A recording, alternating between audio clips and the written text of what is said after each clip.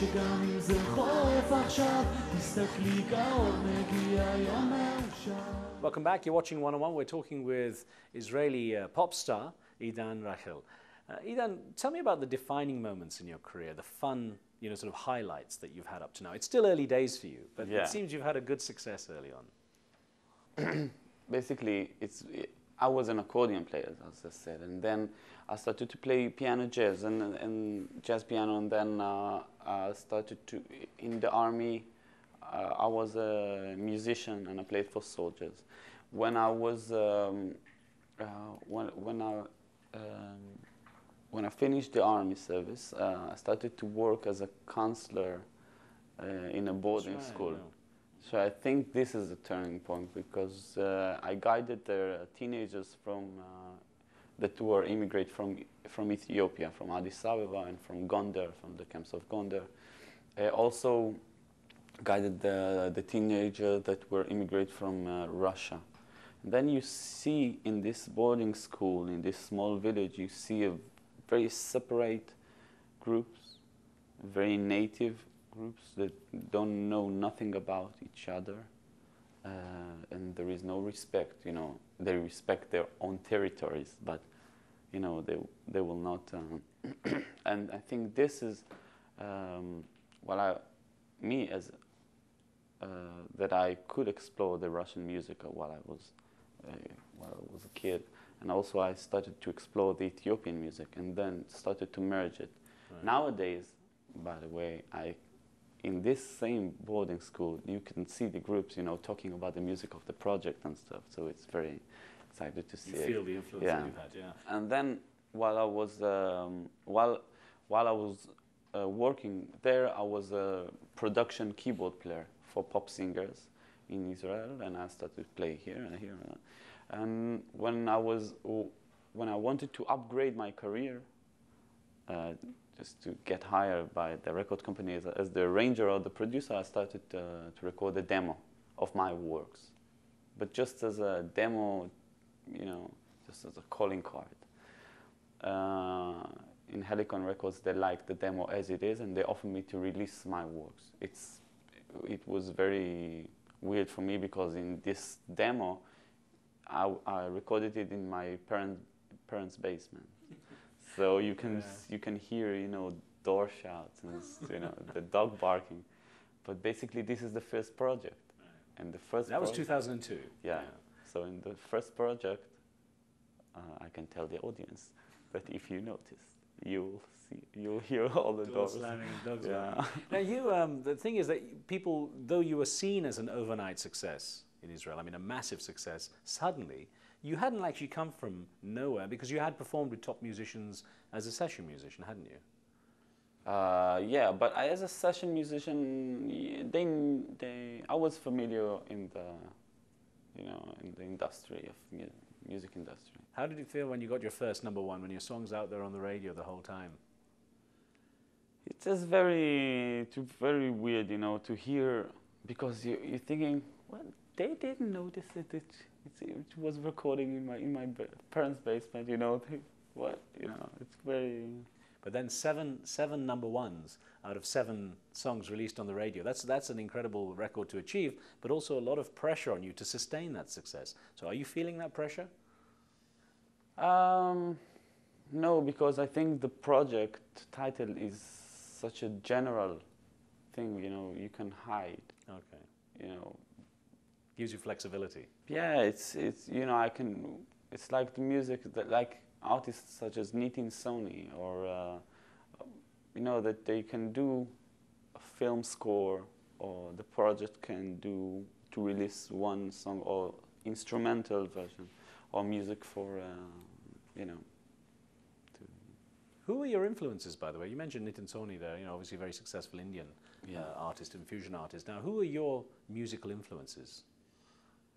Um, I, I hear a lot of music, classical music and uh, Israeli music, uh, African music, Youssou N'Dour, Salif Keita, uh, Nitin the sound-wise uh, and all the idea of uh, what of his works. Uh, I hear rock have hard rock, heavy metal. You know, I hear uh, reggae, Bob Marley, and Sizzla, so from all over. How have you found the, the traveling and the touring around, um, visiting other countries? A, what sort of reception do you get? Uh, I have to admit that we are we are we are touring all over, and the crowd is very different from Singapore to Addis Ababa to Mexico. To, um, most of the time, the, the crowd is very open-minded. Uh, it's very hard to sing in our native languages, in Hebrew and in Arabic and in uh, um, you Amharic as well with the Amharic and uh, Tigrian. So it's very. What about the uh, the U.S. audience? You've toured the U.S. How do you find? I mean, do you find they know your work pretty well? It's obvious that we are known uh, at the Jewish community or the Israelis, Israeli communities. Um, um, it's uh, it's much more exciting to perform in the for students in uh, some campuses such as the, the pa Pakistani uh, students in uh, Columbia University and you know the, and then you can find people that you would never connect with you know such as uh, Iranian students or Sudanians. So do you find when you go on a tour I mean like for example your tour in the US is uh, partly funded by the Israeli Foreign Ministry. You have influences of you know some funding at least from the government. Do you find they want you to put out a message that has a political like a political element to it? Uh, maybe they won't, but uh, we are not dealing with a political statement. We do dealing with the social. Um, we, we wish to talk about the society in Israel because I think it's uh, it's a really really melting pot that it, it can uh, uh, make an example to people from all over. I think uh, also I think also in, in England, there are lots of communities in centre London that don't know nothing about the Brixton uh, community, about the Indian community. And I think uh, what Nitin, what Nitin doing in, in you know, when you bring the Indian music to the, to the mainstream, I think it's, it's, it's great.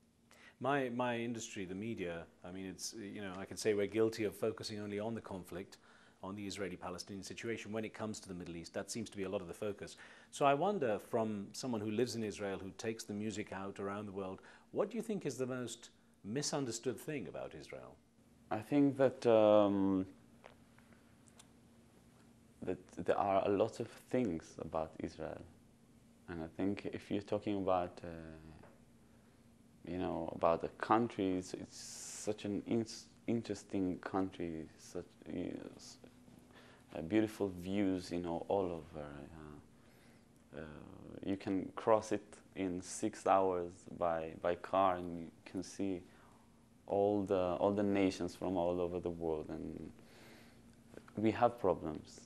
We have problems and problems that will be solved. And, but, you know, such as in every, such as in, in every country, I think uh, you would, Afghanistan is not only bin Laden. And Pakistan is not only the conflict between India and Pakistan. If you were to think ahead, uh, let's go decades down the road, how would you want people to remember you? I don't know. so, it's like I, I say, it's I, I, I guess they will remember the music because obviously they don't know me. I can be a very nice guy. Maybe I'm a very bad guy.